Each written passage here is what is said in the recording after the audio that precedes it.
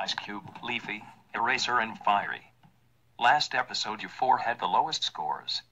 The voters have voted. Let's see which of the four of you will be eliminated. Uh...